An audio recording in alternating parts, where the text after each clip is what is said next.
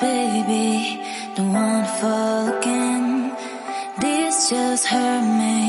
Just think about it, think about it. But you hold me like you don't wanna break. I need some space.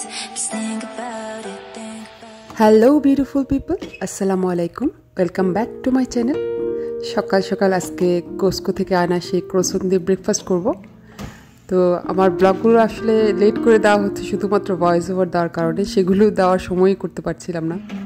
তো আমার সেই favourite Ninja air ফ্রায়ারে toast করে নিচ্ছি। এটা এত বেশি ইউজফুল হয়েছে কি বলব? মানে এখন এটা আমাদের মোস্ট ফেভারিট হয়ে গেছে, বিশেষ করে জাকি।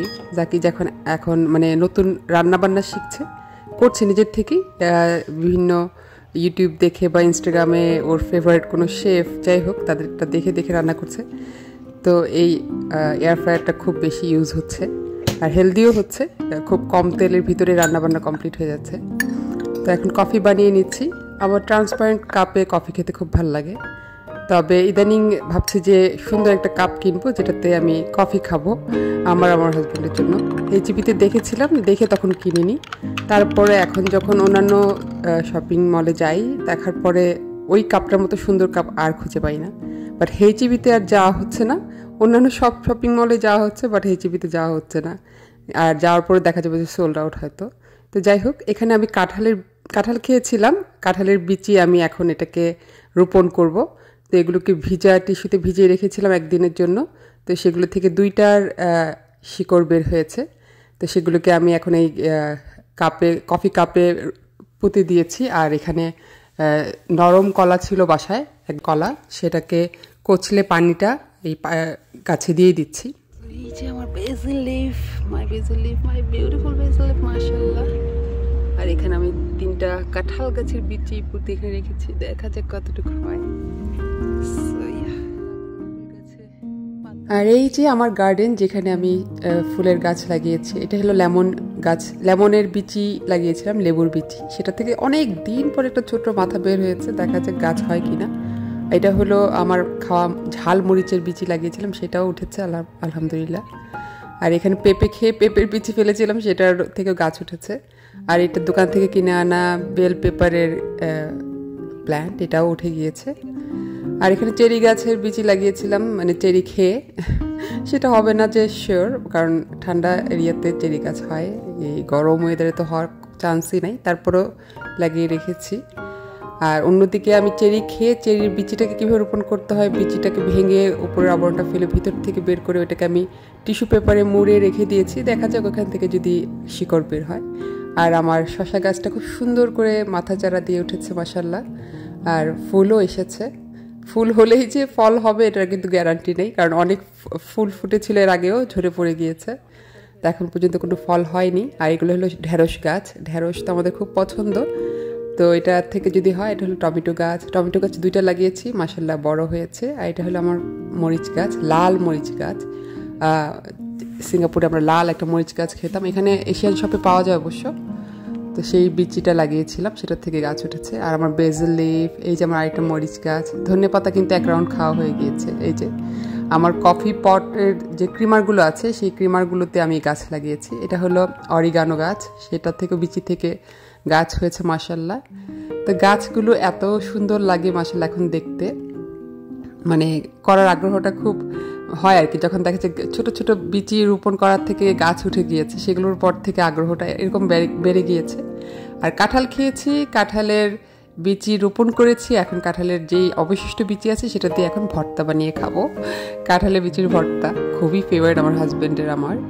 তো স্পেশালি তার জন্য দেখা যায় যে অর্ধেকের বেশি সেই খাবে, খালি খালি খেয়ে ফেলে বানানোর পরে। তো এখানে কাঁঠাল বিচির ভর্তা বানিয়ে নিচ্ছিলাম, আর পাশাপাশি বিকেলের নাস্তার জন্য এখানে নাচও বানিয়েছি, কারণ আমার বাসায় রান্না করা কিমা থাকি, সেটার সাথে টমেটো, তারপরে আভাকাডো দিয়ে মেয়নিজ দিয়ে মজা করে বিকেলের স্ন্যাক্স এটা সবাই খুব পছন্দ করে।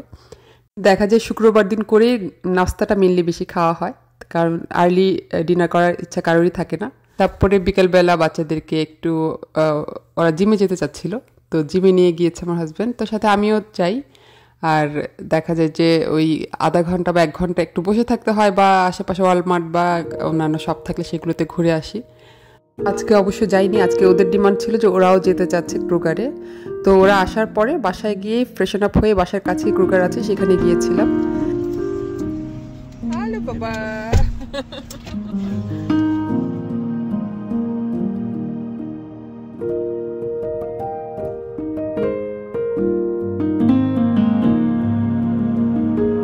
কুকারে আসলেই মানে দেখা যায় যে ফার্স্ট তো ভেজিটেবল সাইডে যাব, সেখানে ভেজিটেবল যা লাগে নেসেসারি সেগুলো কিনে আমি দেখা যায় যে কুকারিসের সাইডে চলে আসি। এগুলো ধরতে, ঘুরতে মানে আমার খুব ভালো লাগে। দেখা যায় সবই যে কিনা হয় তা না। দেখি নতুন কি এসেছে, খুব এক্সক্লুসিভ কিছু আছে কিনা। আর প্রাইস অবশ্যই দেখি প্রাইসটাও যদি রিজনেবল হয়, দেখা যায় যে অনেক সময় নিয়ে নেওয়া হয়। তো আজকে দেখছিলাম কুকারি সাইডে এসে। তো এই বেকিং ডিশটা খুব ভালো লেগেছে বাট আমি আরেকটু বড় চাচ্ছিলাম। এটা খুব সুন্দর একটা স্ট্যান্ডের উপরে। মানে দেখা যায় পাইটা বেক করলে এটা দিয়ে ডাইরেক্ট সার্ভ করে দেওয়া যাবে। আর এই প্লেটগুলো খুব কিউট লেগেছে বাট অনেক বেশি হেভি ছিল। কাপটাও ভালো লেগেছে বাট আমি যে কাপটা দেখেছি এই চিবিতে আমি আশা করছি নেক্সট যখন যাব আপনাদের সাথেও এটা শেয়ার করব। কাপ দুটো এত পছন্দ হয়েছিল আমার, কেন যে নিলাম না তখন। মাঝে মাঝে এরকম হয় যে ছোট্ট একটা জিনিস কাপই তো নিয়ে তো কী হয়েছে? বাট মনের মধ্যে এরকম একটা আফসুস আটকে যায় যেটা ছুটেই না। দেখা যায় যে না কিনা পর্যন্ত। যতই কাপ দেখছি, ওই কাপটা না মানে ওই কাপের জায়গা কেউ নিতে পারছে না। এরকম হয়তো অনেকের কাছে ভালো লাগতে নাও পারে। আমার কাছে ভালো লেগেছে। তো সেইটা আমার চোখে আটকে গিয়েছে। দেখেন কাপ দেখছিলাম। খুব কিউট কিউট কাপ ছিল। আর এখানে খুব সুন্দর রেড ডিনার সেটের বাটি প্লেট কাপ এগুলো ছিল। এগুলো দেখতে খুব মজা লেগেছে। মাঝে মাঝে মনে হয় যে পহেলা বৈশাখে লাল যে আমরা মাটির হাঁড়ি, পাতিল এগুলো খুঁজি মানে তার অল্টারনেট হিসাবে এগুলো ইউজ করা যায় আর কি মানে দুধের স্বাদ ঘুলে মেটানোর মতো।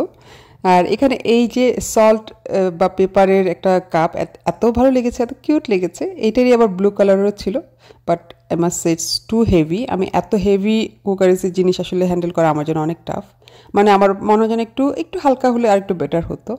আর ক্রুগারে আসলে টুকটাক অনেক কিছুই কেনা হয়ে যায়। দেখা যায় যে লিস্ট তো করে আনা হয়ই না। তার মধ্যে যা যা বাচ্চাদের পছন্দ, ওদের, তারপর আমার যেগুলো কেনাকাটা করা লাগে সেগুলো কেনাকাটা করি। আর এখানে আমেরিকায় যেটা সিঙ্গাপুরে যেটা আমরা পাইনি, গাম। গাম সিঙ্গাপুরে ব্যান্ড ছিল। আর এখানে এসে অঢেল গাম গাম আমার খুব পছন্দ খুব ভালো লাগে আমার গাম চাবাতে। তো সেই গাম এখন দেখছিলাম আর কি, তার মধ্যে একটা নিয়েছি।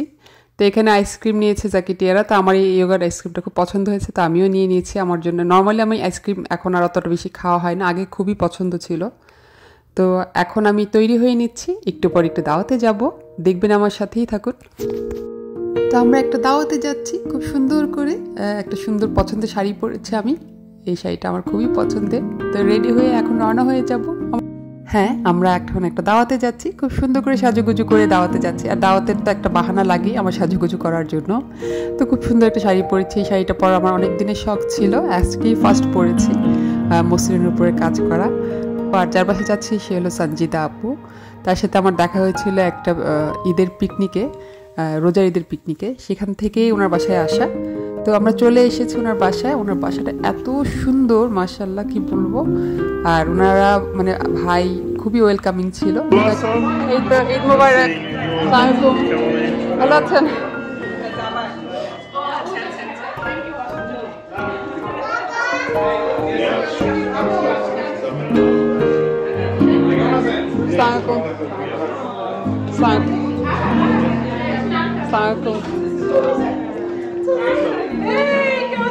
এই তো কি সুন্দর লাগতেছে আমাদের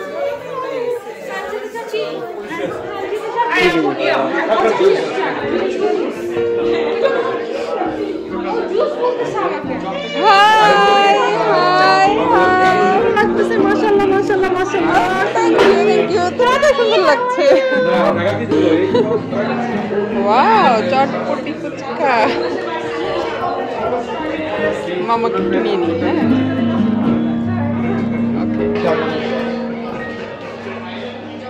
তা সঞ্জিতা আপুর বাসায় ঢোকার সাথে সাথেই সবার অনেক পরিচিত মুখ দেখেছি। সবার সাথে কথা হলো। মানে সবাই খুবই নাইস ছিল, সবার সাথে খুবই কথা হলো হাক দেওয়া হলো, তারপরে এখন চটপটির পালা। তো সঞ্জিতা আপু অ্যাপিটাইজার হিসেবে এখানে চটপটি, অনেক স্ন্যাক্স তৈরি করে রেখেছিল, তো সেগুলো এখন খাচ্ছি। চটপটি দেখলেই তো কারও মানে মাথা ঠিক থাকে না। আমার তো স্পেশালি চটপটি খুবই পছন্দ। আর আপু এত সুন্দর করে অর্গানাইজ করে রেখেছে। আমার খেতেই ভালো লেগেছে। আসলেই খুব মজা হয়েছিল চটপটিটা। তো চটপটিটা খেয়ে দিয়ে পরে আমরা একটু গল্প করতে বসেছিলাম। তারপর আপু অনেক আয়োজন করেছিল। সেগুলো এখন মেন খাবারের পালায় আমরা চলে এসেছি। তো এক এক করে সবাই মেন খাবার নিব। তো মেন খাবারগুলো আসলে অনেক বেশি অপশন ছিল। একটু পরপর আপু রিফিল করছিল। আর আপুর হাতের রান্না কি বলব? অনেক বেশি ডিলিশিয়াস ছিল। আর এত আয়োজন করেছে। আর আপুর বাসাটা খুবই সুন্দর, আমি আসলে ওইভাবে করে নিতে পারিনি। কারণ একটু হয় না, নতুন জায়গায় গেলে একটু সাইনেস তো থাকেই, তো ওইটার কারণে। বাট আপুর বাসাটা আসলে অনেক বিউটিফুল হাউস ছিল। আর এই সুইটগুলো কি বলব, লাড্ডু, তারপর গোলাপ জামুন, পায়েস এক এক করে সবগুলি টেস্ট করেছে এবং সবগুলি খুব মজা হয়েছে।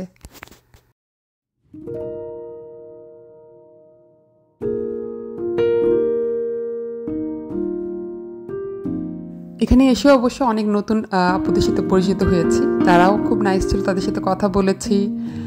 ফোন নাম্বার আদান প্রদান হয়েছে। যোগাযোগ হবে ইনশাল্লাহ খেতে খেতে আপনাদের সাথে আজকে তোলা কিছু ছবি আপনাদের সাথে শেয়ার করছি।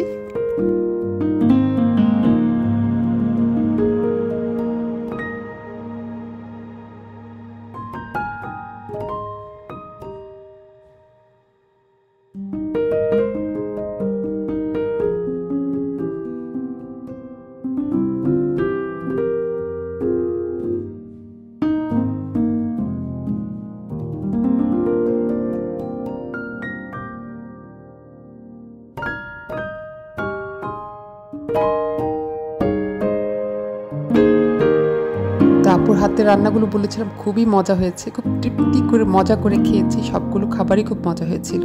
তারপর খাওয়া দাওয়ার পরে জমিয়ে আড্ডা, অনেক গল্প, অনেক হাসাহাসি। আপু ছিল, তারপরে শিমু আপু ছিল, এদের সবার সাথে খুবই মজার সময় কাটিয়েছি। জাকিটিয়ারাও তাদের ফ্রেন্ড পেয়েছে এখানে, তাদের সাথে গল্প করছিল। তবে দেখে ভালো লাগছে যে এখানে বাচ্চারা অ্যাডজাস্ট করার চেষ্টা করছে এবং কিছুটা হলেও অ্যাডজাস্ট করেছে।